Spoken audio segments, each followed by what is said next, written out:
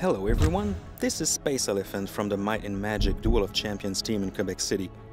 I'm here to show you the new upcoming features in our next update, due for the end of July. Let's check it out. The first thing we change is the friends list that we improve with what we call the rich presence. Actually, you can toggle when you are available, away, or if you are in a very important tournament, you can choose the do not disturb option.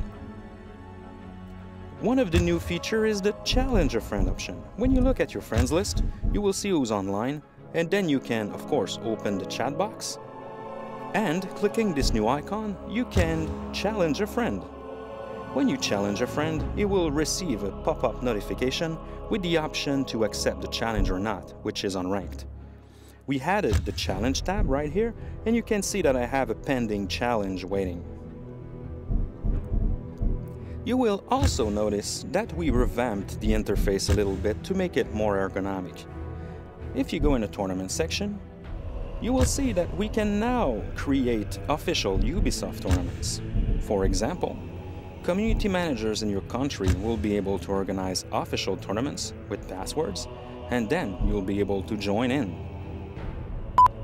Now, if you go in the option menu, you will see that we now have new tabs. We combined sound and video options, and we also put a social tab right there. You will see that you can now block invites if you are too popular on the battleground, and you can also toggle the chat filter, which means you can choose if you want to block bad words or allow them, just like in Mortal Kombat, if you remember, where we had the option to see the real blood. The last but not least feature we added is the Twitch SDK, a very exciting feature that allows you to stream your duels live on Twitch TV without the use of a third-party software. Basically, in the option menu, if you go on the Twitch tab, you can directly connect to your Twitch account. If you don't have a Twitch account, you can register for free on twitch.tv. You can then choose the quality of your stream by clicking HD. It will stream in 720p, and if you have a lower internet connection, just don't choose that option and it will broadcast in a lower quality. So now, I click the play button I will wait in a few seconds. You will see the red dot appearing right here. Oh yeah. So when I go to my Twitch dashboard on my Twitch channel, you will see that now it's loading and then...